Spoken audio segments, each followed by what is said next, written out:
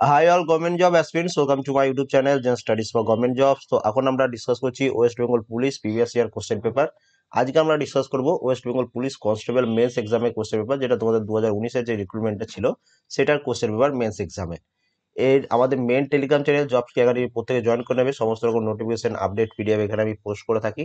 এছাড়া তোমাদের ডাব্লিউপি এবং কলকাতা পুলিশের জন্য তোমরা যারা প্রিপারেশন নিচ্ছ এসআই কনস্টেবল আপকামিং যে সমস্ত রিক্রুটমেন্টগুলো রয়েছে, সেটার জন্য আলাদা একটা টেলিগ্রাম গ্রুপ খোলা হয়েছে, যেটার নাম হচ্ছে মিশন ডাব্লিউপি দু হাজার একুশ। এখানে শুধুমাত্র আমি অনেক পিডিএফ পোস্ট করে রেখেছি।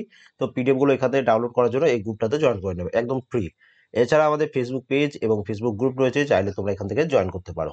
এবং দেখো টোটাল সতেরোটা প্রিভিয়াস ইয়ার কোশ্চেন আমি তোমাদের করাচ্ছি। তার মধ্যে আজকে আমরা যেটা ডিসকাস করব, সেটা পনেরো নম্বর। অলরেডি ফোরটিন পর্যন্ত ক্লাস কিন্তু আমাদের হয়ে গেছে। যারা এখনও পর্যন্ত দেখোনি, এই ভিডিও ডেসক্রিপশনে প্লেলিস্ট আছে, সেখান থেকে তোমরা ক্লাসগুলো দেখে নেবে। তোমাদের জন্য যারা ওয়েস্ট বেঙ্গল পুলিশ এবং কলকাতা পুলিশের জন্য প্রিপারেশন নিচ্ছ, তোমাদের জন্য এই এক থেকে একশো আঠাশ পর্যন্ত মক টেস্টে সেভেন থাউজেন্ড জিকে ক্লাস করানো হচ্ছে প্লাস এটার পিডিএফ ও ভিডিও ডেসক্রিপশনের লিঙ্ক আছে, সেখান থেকে তোমরা নিয়ে নেবে এবং এই হোয়াটসঅ্যাপের মাধ্যমে নিতে চাইলে এটা তোমরা এখানে মেসেজ করবে। এবং দেখো, এই যে কনস্টেবল মেন্স এক্সামে যেটা কোশ্চেন সেট আজকে ডিসকাস করছি, এই এক্সামে টোয়েন্টি কোশ্চেন কমন এসেছিল out of twenty five question এবং তারপরে দেখো সিভিল ডিফেন্সের এক্সাম যেটা হয়েছিল ফেব্রুয়ারি দু হাজার একুশে, সেখানে থার্টি ফাইভ কোশ্চেন কমন এসেছিল আউট অফ ফিফটি কোশ্চেন এবং ডাব্লিউবিসিএস এক্সপিরিয়েন্স পরীক্ষায় সিক্সটি টু কোশ্চেন কমন এসেছিল out of one fifty question এই সেভেন থাউজেন্ড জিকে থেকে। ওকে তো প্রথম প্রশ্ন প্রত্যেকে অ্যান্সার করে দাও, খুব ইজি প্রশ্ন, পাল বংশের প্রতিষ্ঠাতাকে প্রত্যেকেই পারবে। তো পাল বংশের প্রতিষ্ঠাতা মনে রাখবে হচ্ছেন গোপাল। পাল বংশের প্রতিষ্ঠাতা হচ্ছেন গোপাল। এবার এখানেও কিছু ডিটেলস বলে দিচ্ছি যেটা তোমরা মনে রাখবে, তোমাদের পরীক্ষায় আসতে পারে। তো ধর্মপাল, তিনি বিক্রমশিলা বিশ্ববিদ্যালয় প্রতিষ্ঠা করেছিলেন, বহুবার পরীক্ষায় এসছে, যে বিক্রমশিলা বিশ্ববিদ্যালয় কে প্রতিষ্ঠা করে? তো অ্যান্সার কি হবে? ধর্মপাল। এবার সেকেন্ড তোমরা মনে রাখবে, দ্বিতীয় মহিপালের সময় কৈবর্ত বিদ্রোহ হয়েছিল এবং দিব্যক ছিলেন এই বিদ্রোহের নেতা। তাহলে যদি প্রশ্ন আসে যে কোন পাল রাজার সময় কৈবর্ত বিদ্রোহ হয়েছিল, তুমি কি অ্যান্সার করবে? দ্বিতীয় মহিপাল। এবং দেখো, সন্ধ্যাকর নন্দীর রামচরিত থেকে আমরা এই কৈবর্ত বিদ্রোহ সম্পর্কে জানতে পারি। এবং আরেকটা প্রশ্ন এখানে বারবার পরীক্ষায় আসে যে সন্ধ্যাকর নন্দী তিনি কার সভাকবি ছিলেন? তো মনে রাখবে সন্ধ্যাকর নন্দী তিনি রাজা রামপালের সভাকবি ছিলেন। তো এই পাল বংশ থেকে এই কয়েকটা লাইন তোমরা মনে রাখবে, এর মধ্যে দেখবে পরীক্ষায় কমন পেয়ে যাবে।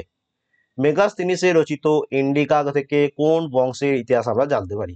দেখো, মেগাস্তানিস খুব ইম্পর্টেন্ট একটা টপিক যেখান থেকে বারবার পরীক্ষায় এসছে, তোমাদের বহুবার পড়েছি। তো তোমাদের মেগাস্তিনিস কার সময় ভারতে এসেছিল? তো তিনি এসেছিলেন চন্দ্রগুপ্ত মৌর্যের সময় তাহলে এখানে কোন বংশ হয়ে যাবে? মৌর্য বংশ। অপশন সি হচ্ছে এখানে এটার সঠিক অ্যান্সার এবার দেখো মেগাস্তিনিস তিনি ভারতে ছিলেন, চন্দ্রগুপ্ত মৌর্যের সময়। চন্দ্রগুপ্ত মৌর্য হচ্ছেন মৌর্য বংশের প্রতিষ্ঠাতা। তো এটাও মনে রাখবে। গ্রীষ্মকালীন সৌরস্থিতি বা সামার সলিস্টিস কবে হয়? গ্রীষ্মকালীন, সৌরস্থিতি বা সামার সলিস্টিস কবে হয়? তো এটা মনে রাখবে, এটা হয়ে থাকে প্রত্যেক বছর একুশে জুন, যেটাকে উত্তরায়ণ বলা হয়। অপশন বি হচ্ছে এখানে এটার অ্যান্সার এর সাথে মনে রাখবে একুশে মার্চ, এই তারিখটাকে বলা হয় মহাবিশুভ।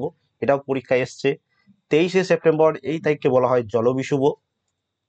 একুশে জুন, এই যে, এই প্রশ্নের অ্যান্সার এটাকে বলা হয় উত্তরায়ণন্ত দিবস বা কর্কট সংক্রান্তি দিবস বা উত্তরায়ণ বা সামার সলিস্টিস তো অনেকগুলো নামই পরিচিত।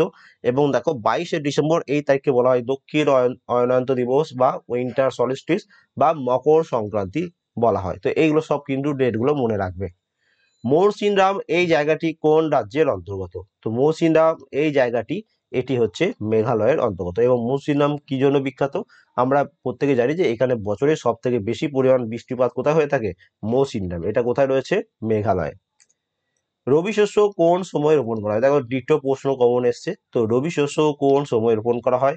তো এটা হচ্ছে অক্টোবর, নভেম্বর মাসে। অপশন বি হচ্ছে এখানে এটা সঠিক অ্যান্সার। এবার এখানে একটু ডিটেলসটা দেখে নাও, রবি শস্য কাকে বলছে বা রবি ফসল কাকে বলছে। যে এক কথায় রবি শস্যের অর্থ হলো শীতকালীন ফসল। তো শীতকাল মেনলি আমাদের অক্টোবর, নভেম্বর, ডিসেম্বর এই সময়ে হয়ে থাকে।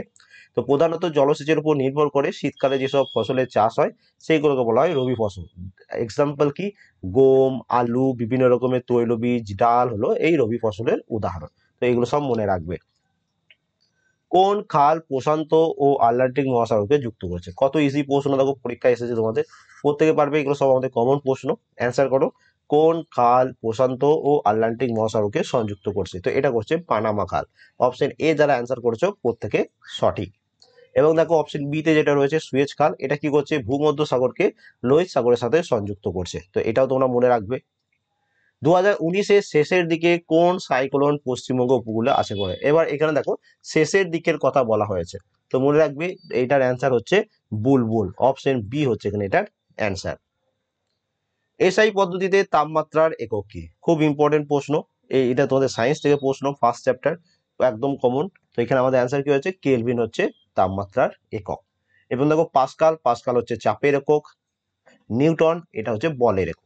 এগুলো বারবার পরীক্ষায় ঘুরে ফিরে আসে, তুমি যে কোনো বই পড়বে, এগুলো সেখান থেকে পেয়ে যাবে। ক্যালসিয়াম কার্বনেটে ক্যালসিয়ামের পরিমাণ কত? দেখো, এই সেম প্রশ্নটাই ওয়েস্ট বেঙ্গল পিএসসি মিস লিডিয়াসের প্রিভিয়াস ইয়ার এক্সামে এসছে। তো আমি তোমাদের অনেকবার করিয়েছি। তো অ্যান্সার বলো, ক্যালসিয়াম কার্বনেটে ক্যালসিয়ামের পরিমাণ। সবার প্রথম এখানে মনে রাখবে, এটা অ্যান্সার হচ্ছে ফর্টি পার্সেন্ট কীভাবে হচ্ছে সেটা তোমরা একটু দেখে নাও। সবার প্রথম দেখো, ক্যালসিয়াম কার্বনেট। ক্যালসিয়ামের মোলার মাস হচ্ছে ফর্টি কার্বনের হচ্ছে বারো, এবং অক্সিজেন হচ্ছে ষোলো। কিন্তু ও থ্রি আছে, সেই জন্য এখানে তিন দিয়ে গুণ করছি। তাহলে এটা যদি টোটাল তুমি যোগ করো চল্লিশ প্লাস বারো প্লাস আটচল্লিশ, তিনশো ষোলো আটচল্লিশ, তাহলে হয় হান্ড্রেড তো টোটাল ক্যালসিয়াম কার্বনেটের যে মোলার মাস বা মলিকুলার মাস সেটা হচ্ছে একশো। এবার এখানে এই এগুলোর মধ্যে এটা পুরোটা ক্যালসিয়াম কার্বনেট এবার এখান থেকে শুধুমাত্র ক্যালসিয়ামে জানতে চেয়েছে। তো ক্যালসিয়ামের মোলার মাস কত হচ্ছে? ফর্টি তাহলে এবার এখানে তোমাকে পার্সেন্টেজ বার করতে হবে। তাহলে তুমি বলতেই পারো যে ওয়ান মোল ক্যালসিয়াম কার্বনেটে তোমার ক্যালসিয়াম রয়েছে কত? চল্লিশ গ্রাম। এখানে দেখতে পাচ্ছ চল্লিশ। এবার দেখো, যদি পার্সেন্টেজ বার করতে বলে তো ইজিলি করে দেবে চল্লিশ বা একশো ইন্টু একশো যেহেতু পার্সেন্টেজ বার করতে বলেছে, তাহলে তোমার এখানে একশো একশো কেটে যাবে, তাহলে কত পড়ে হয়েছে ফর্টি পার্সেন্ট তাহলে অ্যান্সার কি হয়ে যাবে? অপশন বি এবার যদি এখানে তোমাকে জিজ্ঞেস করতো যে কার্বনের পরিমাণ কত, তুমি তখন কি অ্যান্সার করতে দেখো, কার্বনের অ্যাটমিক মাস কত সরি মলিকুলার মাস কত, বারো। তো তাই তুমি কি করতে, বারো বাই একশো ইন্টু একশো। একশো একশো কেটে যেত তোমার অ্যান্সার কি হয়ে যেত, বারো পার্সেন্ট প্রত্যেকে অ্যান্সার করতে পারবে আই হোপ এরকম ভাবে কততম সংবিধান সংশোধনী দ্বারা ভোটার অধিকার বয়স একুশ বছর থেকে আঠারো বছর করা হয়? কতবার পড়িয়েছে প্রশ্নটা? এটা খুব ইম্পর্টেন্ট প্রশ্ন। বারবার শুধু তোমাদের এই কনস্টেবল নয়, বহু পরীক্ষায় এসেছে। তুমি যে কোনো গভর্নমেন্ট জবে প্রিপারেশন নাও, সেখানে এই প্রশ্নগুলো আসে। তো এগুলো একদম কমন প্রশ্ন। তো এটা হচ্ছে একষট্টিতম যে সংবিধান সংশোধনী, সেখানে আমাদের ভোটার অধিকার বয়স একুশ থেকে আঠারো বছর করা হয়। এই যে একষট্টিতম সংবিধান সংশোধনী, এটা হয়েছিল কবে? উনিশশো অষ্টআশি সালে। তো এটা মনে রাখবে। এর সাথে মনে রাখবে, এই একষট্টিতম সংবিধান সংশোধনীর মাধ্যমে আমাদের ভোটার অধিকার বয়স একুশ থেকে আঠারো করা হয়। এবং এটা কীভাবে করা হয়? আমাদের সংবিধানে যে তিনশো ছাব্বিশ নম্বর ধারা রয়েছে, তো সেইটাকে সংশোধন করা হয়। তার মধ্যে অ্যামেন্ডমেন্ট করা হয়, পরে ফলে এই একুশ থেকে আঠারো বছর আমাদের ভোটার হয়ে থাকে। সংসদে জিরো আওয়ার বলতে কোন সময়কে বোঝায়? দেখো, এই সেম প্রশ্নটা তিন চারবার অলরেডি তোমাদের ওয়েস্টবেঙ্গল পুলিশের পরীক্ষায় চলে এসছে। তখন আর কারও কোনো কনফিউজ থাকার কোনো দরকার নেই। এটা অ্যান্সার হয়ে যাবে বারো থেকে একটা। বারোটা থেকে একটা হচ্ছে তোমাদের জিরো আওয়ার জেলার মুখ্য রাজস্ব আদায়কারী কে? তাড়াতাড়ি অ্যান্সার করে দাও, এটা তোমাদের করিয়েছি আমি অলরেডি তো জেলার মুখ্য রাজস্ব আদায়কারী হচ্ছেন জেলা শাসক। অপশন এ হচ্ছে এখানে এটার সঠিক অ্যান্সার তো জেলা শাসক মানে ডিস্ট্রিক্ট ম্যাজিস্ট্রেট বা collector is the chief executive and chief administrative and revenue officer of a district তো একটা ডিস্ট্রিক্টের চিফ এক্সিকিউটিভ অফিসার বা চিফ অ্যাডমিনিস্ট্রেশন অফিসার বা রেভিনিউ অফিসার হচ্ছেন ডিএম বা কালেক্টর জাতীয় মানবাধিকার দিবস কোন দিন পালন করা হয়? দেখো ইম্পর্টেন্ট ডেটস থেকে একটা প্রশ্ন এসছে। তো অ্যান্সার করে দাও। জাতীয় মানবাধিকার দিবস এটা পালন করা হয় প্রত্যেক বছর টেন্থ ডিসেম্বর এর সাথে কিছু মনে রাখবে, পাঁচ জুন এই দিন পালন করা হয় বিশ্ব পরিবেশ দিবস, বারবার পরীক্ষায় আসে। আট মার্চ এদিন পালন করা হয় আন্তর্জাতিক নারী দিবস এবং ছয় আগস্ট এই দিন হয় হিরোসীমা দিবস। দেখো, এই যে ডেটগুলো রয়েছে, এগুলো আমি একটু অফিসিয়াল যে কোশ্চেন দিয়েছে তার থেকে এই আমি এই অপশনগুলো একটু চেঞ্জ করেছি। কারণ তো ওই যে তোমাদের পরীক্ষা যে অপশনগুলো ছিল, সেখানে এগুলো, এই অপশনগুলো ছিল না। তো আমি এখানে অ্যাড করেছি, কারণ এই ডেটগুলো খুব ইম্পর্টেন্ট এখান থেকে তোমাদের পরীক্ষায় প্রশ্ন আসতে পারে। কিন্তু এই পরীক্ষায় এই প্রশ্নটা কিন্তু এসছে ওকে এই পরবর্তী প্রশ্ন, ভারতের বর্তমান চিফ অফ ডিফেন্স স্টাফকে কারেন্ট অ্যাফেয়ার্সের প্রশ্ন প্রত্যেকেই পারবে। এখনও পর্যন্ত তিনি রয়েছেন জেনারেল বিপিন রাও, তিনি বর্তমানে chief of chief of defence staff ইউনিসেফের সদর দপ্তর কত? দেখো, এগুলো হচ্ছে ইন্টারন্যাশনাল অর্গানাইজেশন অ্যান্ড এর হেডকোয়ার্টার এই যে পিডিএফটা দেওয়া আছে টেলিগ্রামে পুরো মুখস্থ করে যাবে, সেখান থেকে হান্ড্রেড পার্সেন্ট কমন পেয়ে যাবে। তো ইউনিসেফ এর হেডকোয়ার্টার হচ্ছে নিউ ইয়র্ক অপশন বি হচ্ছে এখানে এটার অ্যান্সার এবার দেখো নিউ ইয়র্কে আরও কিছু তোমাদের হেডকোয়ার্টার রয়েছে, যেমন হচ্ছে United Nations UNICEF UN F UNFPA UNSC এগুলো সব হেডকোয়ার্টার হচ্ছে নিউ ইয়র্কে প্যারিসে রয়েছে ইউনেস্কো এবং ওইসিডি এবং তারপরে দেখো সিঙ্গাপুর, এখানে রয়েছে অ্যাপেকের হেডকোয়ার্টার তো এগুলো সব কিন্তু তোমরা মনে রাখবে। শ্রীনিবাস রামানুজন, তিনি ছিলেন বিখ্যাত একজন কি? তো শ্রীনিবাস রামানুজন, তিনি ছিলেন একজন বিখ্যাত গণিতবিদ। অপশন ডি যারা অ্যান্সার করেছ, প্রত্যেকে সঠিক। সম্প্রতি বুশ ফায়ার ক্রাইসিস কোথায় ঘটে? তো জঙ্গলে আগুন ধরে গেছিল, নিম্নোক্ত কোথায়? এটা তখনকার একদম কারেন্ট নিউজ ছিল, আমরা প্রত্যেকেই দেখেছিলাম। তো এটা মানে সবাই পারবে এটা তোমরা। অ্যান্সার কি হয়ে যাচ্ছে? অস্ট্রেলিয়া। অপশন ডি হচ্ছে এখানে এটা সঠিক অ্যান্সার এবার দেখো, কোন দেশের প্রধানমন্ত্রী দু হাজার উনিশ সালে শান্তির জন্য নোবেল পুরস্কার পেয়েছিলেন? দেখো, নোবেল পুরস্কার থেকে প্রশ্ন আসছে। তো মনে রাখবে, নোবেল পুরস্কার দু হাজার উনিশ সালে পেয়েছিলেন ইথিওপিয়ার প্রধানমন্ত্রী। অপশন ডি হচ্ছে এখানে এটা অ্যান্সার। এবার এখানে একটু ডিটেলস মনে রাখবে। এবার দু হাজার উনিশের তোমার নোবেল প্রাইজ এখন কোনো কাজে লাগবে না। এখন যেটা লাগবে দু হাজার কুড়ির নোবেল প্রাইজ কারণ দু হাজার একুশে দেওয়া হয়নি। তো নোবেল প্রাইজ দু হাজার কুড়িতে কে পেয়েছে? এই তোমার শান্তির ক্যাটাগরিতে মানে পিস ক্যাটাগরিতে নোবেল পিস প্রাইজ যেটা দু হাজার কুড়িতে, সেটা দেওয়া হয়েছে World Food Programme W F P কে দেওয়া হয়েছে। দু হাজার কুড়িতে নোবেল পিস প্রাইজ। এবার দেখো, এই পুরস্কার কেন দেওয়া হয়েছে? তো এই ওয়ার্ল্ড ফুড প্রোগ্রাম এরা কি করতো? যে বিভিন্ন যুদ্ধ সংঘর্ষিত যে অঞ্চলগুলো রয়েছে, সেখানে শান্তির জন্য বিভিন্ন পরিস্থিতি উন্নতি করার জন্য এবং সেই যুদ্ধে যারা আহত হয়েছে, তাদেরকে মানে খাবার টাবার পৌঁছানো, ওষুধ এইসব পৌঁছানোর জন্য বা তাদের হয়ে লড়াই করার জন্য এই তাদেরকে এই ওয়ার্ল্ড ফুড প্রোগ্রামকে নোবেল পিস প্রাইজ দেওয়া হয়েছে। এবং এই Nobel sorry, World Food Programme এটা এস্টাবলিশ হয়েছিল নাইনটিন ডিসেম্বর নাইনটিন সিক্সটি ওয়ানে এবং এর যে হেডকোয়ার্টার সেটা রয়েছে ইটালির রোম শহরে। তো এটা পুরোটা তোমরা মনে রাখবে। গুগলের chief executive officer, chief executive officer মানে হচ্ছে সিইও। তো গুগলের সিইও কে প্রত্যেকেই পারবে, খুব ইজি প্রশ্ন অ্যান্সার হয়ে যাচ্ছে সুন্দর পিচাই অপশন ডি হচ্ছে এখানে এটার অ্যান্সার এবং দেখো, গুগল এটা এস্টাবলিশ হয়েছিল নাইনটিন নাইনটি এইটে fourth December sorry fourth September Sundar Pichai হচ্ছে সিইও এবং রুথ পোড়ার ইনি হচ্ছেন সিএফও এবং ফাউন্ডার হচ্ছেন কে? ল্যারি পেজ এবং সার্জি ব্রিন ল্যারি পেজ এবং সার্জি ব্রিন এরা দুজনে মিলে গুগল এস্টাবলিশ করেছিল। মিতিন মাসির স্রষ্টা কোন লেখক? তো এটা কার লেখা? মিতিন মাসির স্রষ্টা। এটা কার লেখা? তো এটা হচ্ছে তোমার ডান সাইডে ইমেজ দেখতে পাচ্ছ। Sumitra sorry Suchitra Bhattacharya. Option A হচ্ছে এখানে এটার সঠিক অ্যান্সার পিএন ঠাকুর কাজ, ছদ্মনাম। দেখো এই ছদ্মনাম রিলেটেড প্রশ্ন কিন্তু আসছে। তোমাদের টেলিগ্রামে যে স্ট্র্যাটেজিকে পিডিএটা দিয়েছিলাম, পুরোটা মুখস্থ করে যাবে। তাহলে দেখবে এগুলো তোমরা কমন পেয়ে যাবে। তো পিএন ঠাকুর এটা হচ্ছে রাস বিহারী বসুর ছদ্মনাম।